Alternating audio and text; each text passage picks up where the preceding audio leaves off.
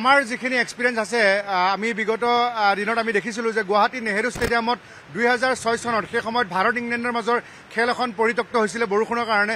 অকল পৰিত্যক্ত হোৱাই নহয় আঠজনকৈ লোক সেই সময়ত জি এম চি এইচত ভৰ্তি কৰাব লগা হৈছিলে আৰু সকলো দৰ্শকে আচলতে সেই সময়ত জুই লগাই দিছিলে ষ্টেডিয়ামত।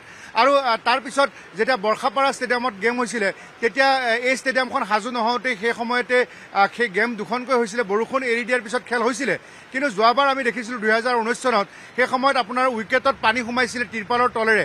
তেতিয়া কিন্তু তেতিয়া ইস্ত্ৰি ব্যৱহাৰ কৰিব লগা হৈছিলে আৰু হেয়াৰ ড্ৰায়াৰ ব্যৱহাৰ কৰিবলগীয়া হৈছিলে। আৰু সেই সময়তে আমি গেম অনুষ্ঠিত কৰিব নোৱাৰিলোঁ আৰু গোটেই বিশ্বৰ সন্মুখত আমি অসম ক্ৰিকেট সন্থা কলংকিত হৈ ৰ'লোঁ। আচলতে আমাৰ অসম ক্ৰিকেট সন্থাৰ লগত ক্ৰিকেট যেতিয়া আয়োজন কৰিবলৈ যায় তেতিয়াই কিবা নহয় কিবা ঘটনাই আমাক চুই যায়।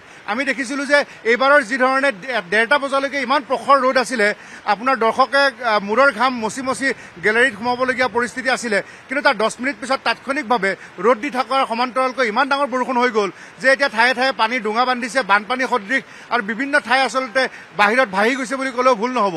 আৰু ষ্টেডিয়ামৰ ভিতৰত যি দৰ্শক সোমাইছিলে সেই দৰ্শকসকলে তেওঁলোকে পানীৰ পৰা বাচিবৰ কাৰণে বাহিৰলৈকে ওলাই আহিছে। আৰু ইয়াৰ আগতে আমি দেখিছিলোঁ যে কেতিয়াবা সাপ ওলাইছিলে কেতিয়াবা ফ্লাড লাইটৰ বন্ধ হৈ যায় আৰু মহ ঢাকিবলৈকে তিৰপাল ব্যৱহাৰ কৰে ইয়াতে নেট দিয়ে। গতিকে অসম ক্ৰিকেট সন্থাই যিবোৰ নাৰভুত নাচুত কাৰবাৰ কৰে আচলতে তেওঁলোকে এতিয়াও ক্ৰিকেট অৰ্গেনাইজিঙৰ ক্ষেত্ৰত শিশু হৈ আছে তেওঁলোকে মেচিয়ৰ হ'ব পৰা নাই। আচলতে আমাৰ অষ্ট্ৰেলিয়াৰ পৰা ইংলেণ্ডৰ পৰা উইকেট ঢাকিবৰ কাৰণে অত্যাধুনিক যিয়ে আপোনাৰ কভাৰ থাকে সেই কভাৰ আনিছিলোঁ বুলি কৈছে। যদি আনিছিলে তেনেহ'লে আজি কভাৰ কিয় ঢাকিব পৰা নাই। আৰু সেই অত্যাধুনিক কভাৰেৰে আঠখনকৈ উইকেট ঢাকিব লাগিছিলে। গতিকে এইবোৰ কথা ক'বলৈ গ'লে তেওঁলোকে ব্যক্তিগতভাৱে আক্ৰমণৰ লক্ষ্য হিচাপে বাছি লয় দুই চাৰিজন লোকে। কিন্তু যিয়ে নহওক আমি তেনেকুৱা ভয় ভাবুকিক ভয় নাখাওঁ। আমি ইয়াৰ আগতেও বাতৰি প্ৰচাৰ কৰিছিলোঁ। দেখিছিলোঁ যে মোবাইলৰ পোহৰেৰে ফিল শুকাব পাৰে বুলি কৈছিলে কিন্তু আমি বাতৰি সম্প্ৰচাৰ কৰিছিলোঁ। আৰু আজি বৰষুণে ধাৰাসাৰ বৰষুণ যেতিয়া দি আছিলে আৰু সেই দি থকা সময়ত এতিয়া বৰষুণ ৰখি গ'লে আপোনাৰ গেম হ'ব পাৰে। কিন্তু তাৰ কাৰণে ডাৰ্কৱাৰ্ড লুইচ ছিষ্টেম হ'ব আপোনাৰ ছুপাৰ চকাৰ আহিব উইকেট শুকাব লাগিব মেচ ৰেফাৰীয়ে গ্ৰীণ ছিগনেল দিব লাগিব ইনস্পেকশ্যন কৰিব লাগিব। ইতিমধ্যে ধাৰাভাষ্যকাৰ আহিছিলে মেচ ৰেফাৰী আহিছে। গতিকে আৰু এটা কথা জবাগল শ্ৰীনাথে ইয়াত আপত্তি কৰিছিলে যে ভাৰতীয় দলৰ তিনিজন ক্ৰিকেটাৰক মহে কামুৰিছিলে। আৰু সেইকাৰণে তেনে আপত্তি কৰাৰ বাবে এই যিটো মহৰ কাৰণে মৰা ভৰলু নৈৰ ওপৰত নেট দিব লগা হৈছিলে। জি এম ডিয়ে আৰু জি এম চিয়ে হাত দাঙি দিছিলে যে আমি মহ খেদিব নোৱাৰো। গতিকে এনেকুৱা দুৰ্ভাগ্যজনক কথা। আমি খেল আয়োজনৰ দায়িত্ব পাওঁ ফ্ৰী পাছবোৰ ভগাই দিওঁ। কিন্তু আমি সেইখিনিতে সীমাবদ্ধ হৈ থাকোঁ। গেম আয়োজনৰ কাৰণে আমি যি ব্যৱস্থা গ্ৰহণ কৰিব লাগে তেনেবোৰ কৰিব নোৱাৰি। কেতিয়াবা আমি স্প্ৰে মাৰিলেও সাপ ওলায় আৰু কেতিয়াবা আমি লাইট ভাল ধৰণে নাচাওঁ কাৰণে ফ্লাড লাইট বন্ধ হৈ যায়। আজি বৰষুণ দিছে। আপ- এটা প্ৰাকৃতিক কাৰো হাতত নাই। কিন্তু যদি ইয়াৰ পিছত বৰষুণ ৰখি যোৱাৰ পিছত যদি পানী সৰকি উইকেটত পৰে তেতিয়া তাৰ কাৰণে বিশ্ববাসীৰ সন্মুখত আমি পুনৰ লজ্জিত হ'ব লাগিব। গতিকে ইয়াৰ কাৰণে কেনেকুৱা ব্যৱস্থা গ্ৰহণ কৰিছে আমি এই মুহূৰ্তত আমি দুটা দল আমি ইয়াত আছো। আমি উৎপল হালৈ আছে অঞ্জন ডেকা আছে। আমি ইয়াত এই মুহূৰ্তত আমি বৰ্ষাপাৰা ষ্টেডিয়ামত আমি উপস্থিত আছো। গতিকে প্ৰতি মুহূৰ্তৰ খবৰ আমাৰ দৰ- দৰ্শক আমি জনাই থাকিম। কিন্তু এটা খবৰ আমি এই মুহূৰ্তত জনাইছো যে বৰ্ষাপাৰা ষ্টেডিয়ামৰ বাহিৰৰ মূল পথত প্ৰায় বানপানী সদৃশ পৰিস্থিতি হৈছে।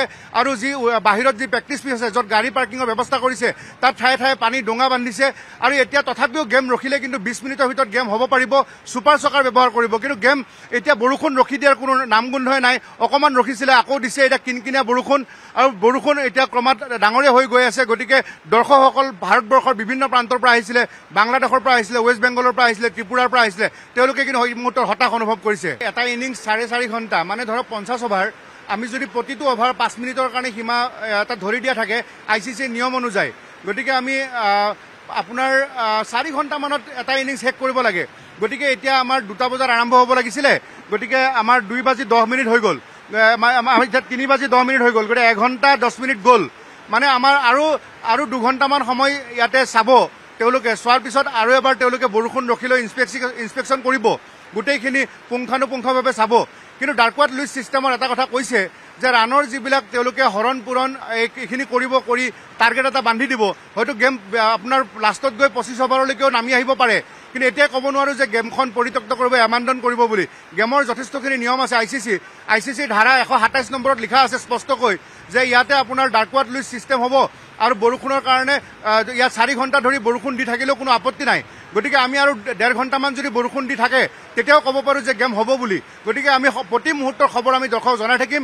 বৰষুণ বন্ধ হৈছে নে নাই কিমান ডাঙৰ হৈছে বন্ধ হৈছে যদি ছুপাৰ চকাৰ ব্যৱহাৰ কৰিছে নে নাই ইয়াতে মেচ ৰেফাৰীয়ে কি কৈছে বা আপোনাৰ আম্পায়াৰে কি কৈছে গোটেইখিনি কথা আমি জনাই থাকিম। কিন্তু এই মুহূৰ্তত জনাইছোঁ যে ধাৰাভাষ্যকাৰসকল বা ইয়াতে খেলুৱৈসকলে গ্ৰীণ ৰুমত আছে তেওঁলোকে তেওঁ আৰু লগতে যিখিনি অৰ্গেনাইজাৰ তেওঁলোকে নিজৰ নিজৰ ৰুমত বহি আছে। সকলোৱে আচলতে মনত দুখ অনুভৱ কৰিছে। কাৰণ এখন বহুদিনৰ মূৰত ভাল মেচ পাইছিলে। যদিও বিশ্বকাপৰ মেচ আমি নাপালোঁ আমি বিশ্বকাপৰ ৱাৰ্ম আপ মেচ পাইছিলোঁ কিন্তু এইখনকে ভাল ধৰণে আয়োজন কৰিলে সন্মুখত এখন টি টুৱেণ্টি মেচ আছে আঠাইছ তাৰিখে নৱেম্বৰত। খেলপথাৰলৈ যাব পৰা পৰিস্থিতি নাই তেওঁলোকে পেভিলিয়নতে এতিয়া নিজৰ মাজতে ধেমালি কৰি আছে। আমি কিছু সময় আগতে ভি ভি আই পি লঞ্চলৈ গৈছিলোঁ দেখিছিলোঁ যে বিৰাট কোহলিয়ে হওক ৰোহিত শৰ্মা হওক হাৰ্দিক পাণ্ডিয়া হওক সূৰ্যকুমাৰ যাদৱ আহ, সকলোখিনিয়ে তেওঁলোকে নিজৰ মাজত ধেমালি কৰি আছে ফূৰ্তি কৰি আছে কিন্তু তেওঁলোকে যিহেতু গ্ৰাউণ্ডত যাব পৰা নাই আৰু বৰষুণ দি আছে ডাঙৰ বৰষুণ। হয়তো গুৱাহাটী মহানগৰীৰ কোনোবা ঠাইত বৰষুণ নিদিব পাৰে কিন্তু বৰ্ষাপাৰাত এতিয়া বানপানীয়ে হৈছে বাহিৰত। আপোনাৰ চাউথ পইণ্ট স্কুলৰ গোটেই গলিটোত এতিয়া বানপানী। আপোনাৰ গাড়ীৰ টায়াৰ এতিয়া ডুব যোৱা এটা পৰিৱেশ। গতিকে এই মুহূৰ্তত বৰষুণ ডাঙৰ হৈ গৈ আছে বৰষুণ। গতিকে দৰ্শকসকল যিসকলে বিভিন্ন প্ৰান্তৰ পৰা আহিছিলে তেওঁলোকে কিন্তু যথেষ্ট মনত দুখ অনুভৱ কৰিছে।